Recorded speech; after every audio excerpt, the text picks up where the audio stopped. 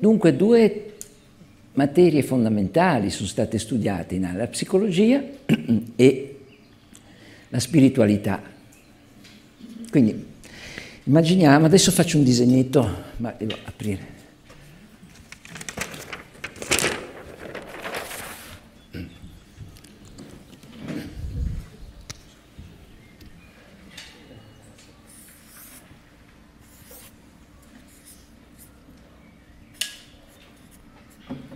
Ecco, immaginate che questo corrisponda a una biblioteca ampia,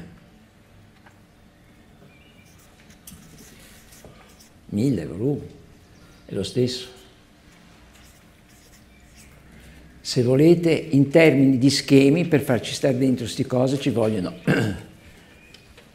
tirando l'essenza, ci vogliono 20 metri quadri di schemi. Negli anni altro che 20 metri quadri ho fatto, ma molto di più. Avevo lavagno, avevo decine e decine di questi fogli, c'è un centinaio già di quelli che ho conservato, qui sono tantissime. Però che te ne fai di mille libri? Che te ne fai di 20 metri di fogli? Di, di... Quindi bisognava andare sempre più all'essenziale. Per, per andare all'essenziale bisogna togliere tutto ciò che inutilmente complicato. Bisogna togliere la complicazione. E nella psicologia l'abbiamo fatto. Oggi la psicologia che trattiamo qua, cioè la psicologia in fondo è, la, è il lavoro sull'anima. È quello che serve. La psicologia si studia eh?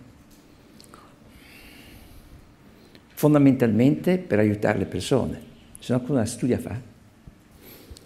Ma il fatto che oggi non si studia per aiutare le persone, si studia per fare il gioco della psicologia, che è un gioco. Si, si potrebbe fare il gioco dei scacchi, è un gioco mentale, tra i tanti, la cui utilità è praticamente zero. Però sono stati scritti migliaia e migliaia, enormi biblioteche. L'essenza di quello che c'era da capire, francamente l'abbiamo capito. Non abbiamo capito ancora tutto, ma rispetto a quello che fanno gli altri, non c'è nessuno che riesca a fare questi lavori. Perché tutto questo enorme quantità si è ridotto a 3-4 foglietti. Eh, ci sta tutto. La restituzione, lo psicogenoma, che ci vuole? Pochissime cose le, le, cose che facciamo adesso, visualizzare il bambino, le, eh, vedere l'io, eh, la, lo sviluppo dell'io dal bambino fino all'adulto, lo sa chiunque, la psicologia studia, la psicologia dell'età evolutiva, che ne traggono fuori? Niente. Fanno degli studi, fanno degli esperimenti. Che caso ne tirano fuori? Non so. Beh, io avendola studiata, francamente, di quello che ho studiato, non so che cosa è stato utile. Pochissimo.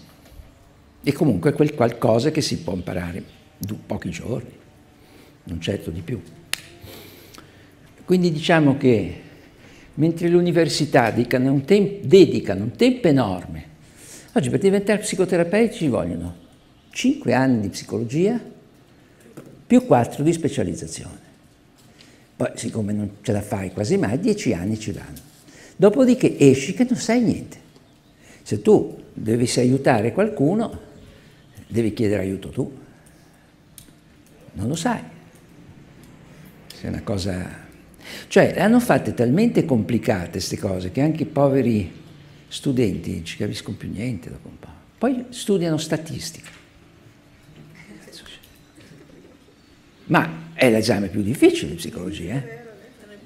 Psicometria, cioè io ho studiato tutto, ho fatto 36 esami, le so queste cose, le ho conosciute, poi le ho dimenticate tutte non servono a niente. Vabbè, nella spiritualità le cose stanno ancora peggio, perché ci sono, penso, edifici ed edifici interi di ragionamenti sulla spiritualità. Sul cristianesimo penso che non basta tutto armeno, tutte le case le riempi di libri, eh? le dottrine, le eresie, l'ortodossia, cos'è giusto, cos'è sbagliato, cos'è... E dopo di tutto questo cosa rimane? Ecco, il messaggio del cristianesimo. Il messaggio originale era quello di Cristo, giusto? Allora, da quel messaggio lì ne sono nati una quantità di volumi incredibile. E i risultati quali sono? Che nessuno fa niente in quel campo.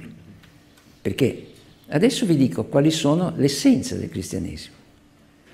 Perché lì non sono nemmeno tutti i Vangeli. Tutti i Vangeli uno dice, porca miseria, ti devi... No, non c'è bisogno che li leggi tutti. Sì, è meglio li leggi, ma... ma guarda. Fondamentalmente vi dico quali sono i principi e qui vi indico un simbolo, è questo.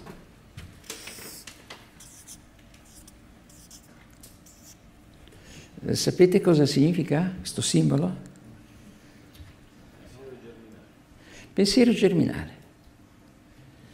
Pensiero germinale, per esempio, nell'analisi transazionale è un'idea semplicissima. Genitore, adulto, bambino. Questo.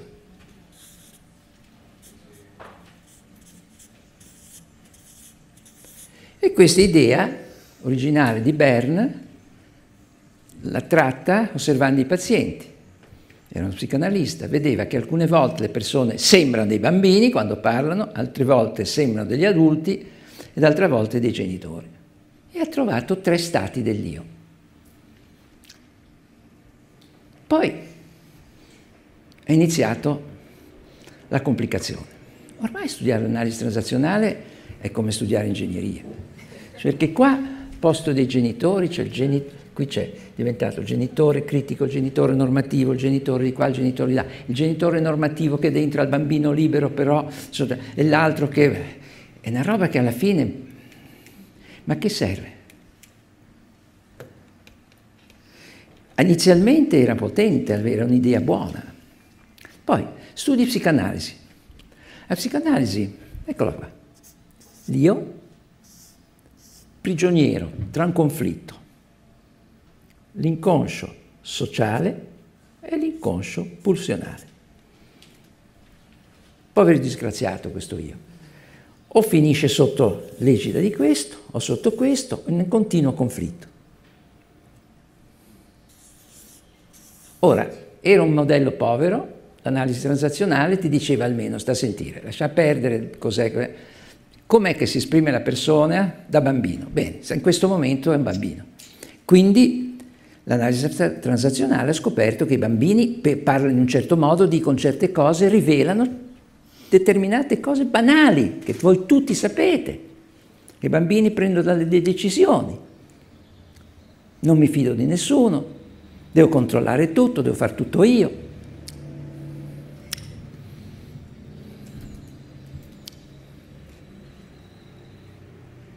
Non credo più niente.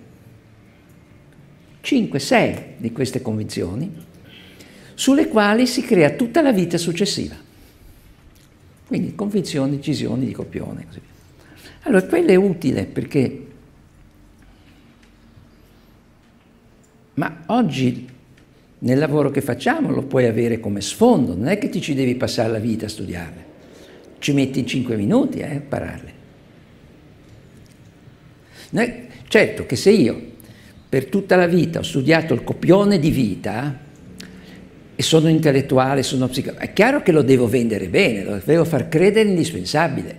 Tutte le sottotipi di copioni, quello, il copione amartico, il copione tragico, il copione, cioè, alla fine ho tante di quelle nozioni, poveri studenti, voi dovete saperle tutte, se non vi faccio un mazzo così, e quindi le imparate per forza.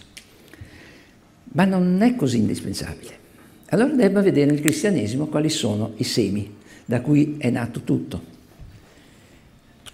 Ve li ho già detti in parte. Amatevi l'un l'altro come io vi amato. Non entrerete nei cieli se non diventate come bambini. Qual è il comandamento più importante? Alma al prossimo tuo come te stesso. Quante volte dobbiamo perdonare? 70 volte 7. Con questi praticamente c'è tutto quello che serve, perché sono come gli atomi della tavola di Mendeleev. combinandoli insieme si hanno tante di quelle possibilità e soprattutto ognuno di loro non è un atomo, è una molecola, dice un sacco di cose. Quindi potremmo ottenere tutta una giornata su amatevi l'un l'altro come io vi ho amato. Parte ve l'ho già dette queste cose, cosa vuol dire? Vuol dire amare in modo che esprimiamo tutte le qualità dell'essere. E questo non, non è solo una nozione, è un'indicazione, è un'istruzione. Quindi vuoi entrare nel regno dei cieli, cioè vuoi essere felice o vuoi non essere felice? E tutti quanti alzano la mano, voglio essere felice. Bene, se vuoi essere felice, qui c'è la procedura. Applica tutte le qualità dell'essere, tutte. E nessun inquinante della mente. Più facile di così. Poi, una volta capito, ti accorgi che inquinanti della mente, agli inquinanti della mente ci sei parecchio affezionata. Eh? perché c'è l'attaccamento a questi inquinanti. E lì si apre tutto un capitolo meraviglioso. Ma quello che vi ho detto è già una sintesi tra cristianesimo e buddismo, perché vi ho parlato di attaccamento. Nel cristianesimo non c'è l'attaccamento, non viene detto così chiaro. Quindi nel buddismo un punto di forza sono le quattro nobili verità, quando parli, quella è la causa della sofferenza e l'ignoranza. E l'ignoranza cos'è? Eh, vuol dire attaccamento e avversione. Attaccamento e avversione. Sono attaccata a quella bottiglia, se non ce la posso avere, c'è l'avversione. È l'origine della sofferenza. Allora, abbiamo quindi una validazione crociata tra quello che ci dice il cristianesimo ma quando parlo di inquinanti e qualità ho già invaso il cristianesimo col buddismo, li ho già ibridati, perché il cristianesimo non parla degli inquinanti né delle qualità, vi dice solo amatevi. Noi abbiamo riempito amatevi con una descrizione più dettagliata e facilmente operativa. Questo lavoro si fa perché, per esempio, lo posso fare perché ho obbedito al comandamento 2 non entrerete nel regno dei cieli se non diventate come bambini. Quali sono le caratteristiche dei bambini? L'innocenza, gioco, queste cose, va bene. Bisogna avere quelle caratteristiche lì, se no non si mette a studiare così, ecco, si vergogna. No. E la seconda? Curiosità, spontaneità. Non no, proprio la loro caratteristica che ci serve allo, nello studio, qual è? La semplicità. C'è un bambino, non gli puoi spiegare cose difficili. La differenza tra quella bottiglia e quella cosa la puoi spiegare, la differenza tra le componenti chimiche di quel materiale lì e quell'altro non lo riesci a spiegare. E perché cosa gliene parli a fare? E lì esce fuori un'altra intrusione del buddismo nel cristianesimo, che si evidenzia bene con questo simbolo.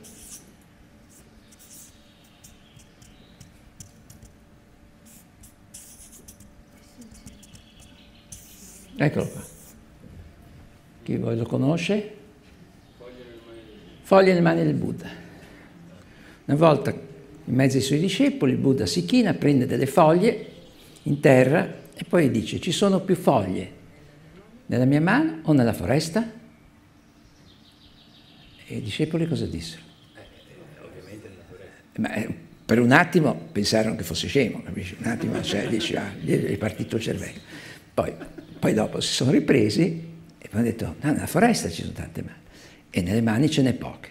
E lui cosa disse? Queste sono le conoscenze essenziali. Queste sono le conoscenze essenziali. Le altre? Essenziali per cosa? Nel buddismo c'è una... per superare la sofferenza. Sofferenza, fine della sofferenza. Nella vita è sofferenza. C'è una causa della sofferenza, c'è un modo per superarla, c'è una procedura, sì. Queste cose, impridate col cristianesimo, rendono il buddismo e il cristianesimo più forti, perché sono l'essenza dell'uno e l'essenza dell'altro. Cioè, noi, per fare questo bisogna davvero giocare con le conoscenze, non essere... Cioè, il problema degli intellettuali è fondamentalmente di enorme ignoranza perché purtroppo hanno questo vizio, si attaccano alle conoscenze, ne fanno uno strumento di potere sugli altri. Quindi se uno ha studiato 15 anni di buddismo, questa roba qui dice ma, che, ma no, ma non è così. E lo duplice sentiero per me è semplicissimo, devi ricordarti otto lettere. Attenzio- A, attenzione. C, concentrazione. RV, retta visione. Sono tre. Poi, retto pensiero, retta parola, retta azione. Poi ce n'è due. Retto sforzo, retti mezzi di sostentamento. Adesso vai e cerca le biblioteche e trovi da qui a Torino i libri. Ma non ti cazzo ti servono. Alla fine di tutto quello studio, sai cosa fai? Non li applichi. Continui a non applicarli. Tu studi tutto sulle banane, sai tutto, ma non le mangi. Una scimmia non le studia e se le mangia. Che è più intelligente? Evidente che è più intelligente la scimmia. Noi siamo ricoglioniti. Cioè, noi non, è lì il problema dell'attaccamento all'immagine. Perché se hai l'attaccamento all'immagine tua, che sei un essere, che sei intelligente, eccetera, sei finito. Lascia perdere. Parti dall'idea che non sei affatto intelligente, sei un coglione, così che devi partire. E questo qual è delle, delle, delle qualità dell'essere? Uno che non, non si... Umiltà. Se non c'è l'umiltà non fai niente. Nel buddismo c'è questo altro simbolo, Ecco qua. È l'uccello a due ali. Un'ala cosa sono? Riconoscenza. E l'altra? Più che conoscenze, le istruzioni. Istruzioni, esperienze. Che vuol dire? Che non basta fare esperienze, perché uno dice, ah no, no, uno dei luoghi comuni, più, più comune, è che no, non servono, serve fare esperienza. Ora, l'esperienza senza istruzioni, cioè che ti guidano a fare l'esperienza, si ripete sempre uguale. Cosa serve? Cioè tu hai un copione, fai esperienza di vita, poi sai alla fine cosa fai? Muori. Solo col copione molto più ingrandito. Se invece fai, hai il copione di vita, poi ti vengono date alcune istruzioni, dopo fai un'altra esperienza, ti va meglio. Prendi altre istruzioni, fai un'altra esperienza, ti va meglio, alla fine il problema del copione, quel pezzo lì l'hai messo a posto. Ecco, questo è il modo di ragionare mio che deriva dall'infanzia, perché io nell'infanzia giocavo col meccano, facevo, fa, fa, facevo cose con i legni, facevo cose così, per cui io non sono interessato a capire le cose in sé, sono interessato a trovare soluzione alle cose. Cui se fai il meccano non è che sei interessato a vedere come è fatta una vite, ma come, cosa ti serve, cosa è utile. Mm. E quindi mi mette completamente fuori dal circolo degli intellettuali normali. Quindi io lavoro in modo semplice, tolgo tutto quello che non serve e però metto insieme, vado a cercare nelle varie discipline quello che è pensiero germinale, quello che è il meglio.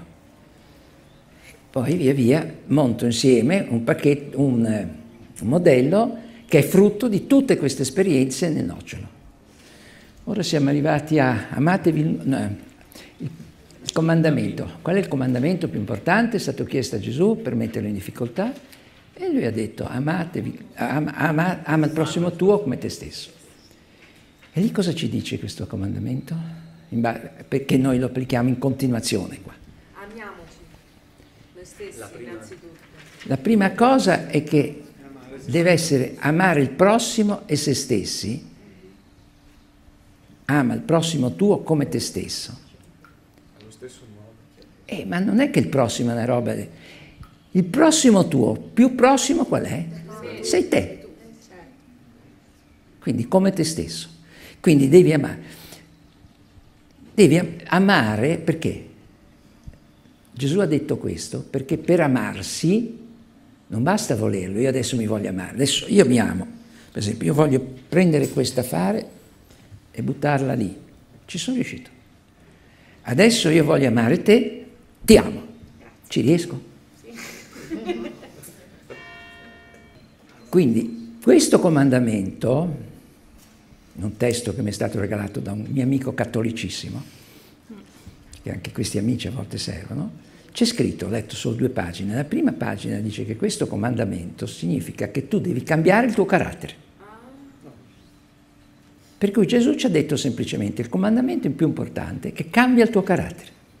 Perché con carattere non c'è scritto direttamente, sono dei puntini che hai, non puoi amare nessuno, né te né altri. E cambiare il carattere non lo possiamo portare in comparazione con l'articolo 3, pieno sviluppo della persona umana. Quindi il Vangelo, l'articolo 3, buddismo, dicono tutti la stessa cosa, ma la dicono in modi diversi, complementari.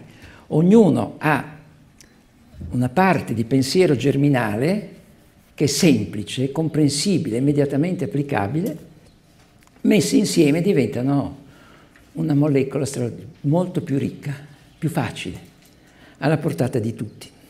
E tutti i modelli che abbiamo analizzato li abbiamo passati attraverso questo filtro. Per esempio, mm, Rosenberg, comunicazione non violenta, passata attraverso questo filtro qua. Dopo ne è uscita una cosa più semplice e più efficace. Il racket era una roba, ci abbiamo messo cinque giorni a impararlo. Ed era solo sulle lamentele.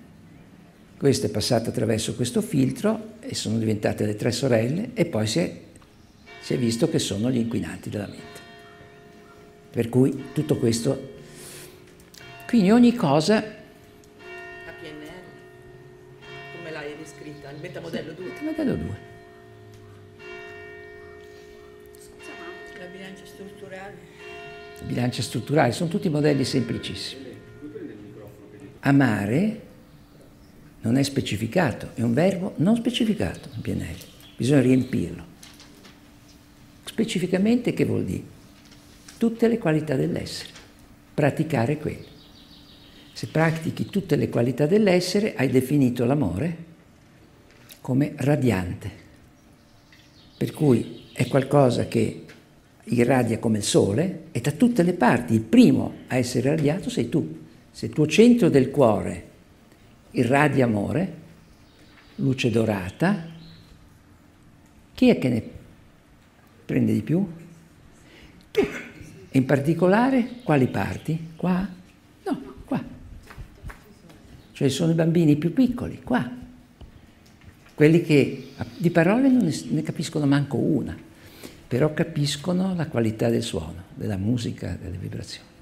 Ma quando lo vedi da bambino queste cose, vedi quanto gli adulti hanno preso una strada sbagliata. Per questo, intelligentissimi, potenzialmente molto intelligenti, ma usano male l'intelligenza. Gesù ci ha, ci ha insegnato, il Buddha e Gesù ci hanno insegnato come utilizzare l'intelligenza. Quando il Buddha ha insegnato questo, ci ha detto fondamentalmente cos'è il pensiero intelligente che cos'è il pensiero, la logica intelligente. Quando, che cosa sono le foglie nelle mani del Buddha? Quelle conoscenze, quelle istruzioni che ti consentono di ridurre e poi porre fine all'infelicità. Ma che cosa, come fa? Mi chiedo, ma tutte quelle persone che studiano e che questo problema non se lo pongono mai, Quindi nella fisica non te lo poni. Quindi a un certo punto ti metti a studiare l'atomo, a un certo punto ti trovi di fronte alla possibilità nucleare e non ti poni il problema di che cosa ci si può fare. E la cosa che si può fare è la bomba atomica. Siccome non basta quella potenza lì, ne fai una che è mille volte più potente. Ora, quel pensiero intelligente è intelligente. Noi siamo stati senza guerra nucleare per una semplice ragione, che l'America e la Russia erano circa pari. Perché sin dall'inizio, quando hanno avuto la bomba atomica, gli americani hanno cercato di produrne il più possibile, dovevano arrivare a 200 per poter distruggere la Russia.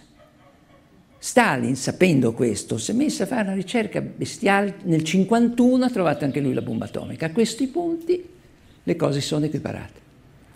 Ecco, su questo tipo di pensiero, diverso da quello del Buddha, si fonda il pensiero di oggi. Cioè è un pensiero che manca di intelligenza alla radice. Il pensiero germinale, questo qui, è un pensiero che ha la sua radice nelle intuizioni divine. Cioè ti arriva come, come ascolto. Adesso devo parlarvi di cosa succede da noi, perché non è che facciamo solo giochetti da bambini. Com'è che a un certo punto si passa da questo livello a un livello più complesso? Allora, se noi pensiamo di essere una materia pensante, cioè che sono cellule che si brogliano tra loro alla fine, tirano fuori le scariche elettriche, poi alla fine non si sa come può venire fuori il pensiero, oppure accedi a coloro che il pensiero l'hanno studiato da 5.000 anni. E allora sai che il pensiero è una cosa ben diversa. Che, per esempio Aurobindo lo spiega bene, pensieri vengono da fuori.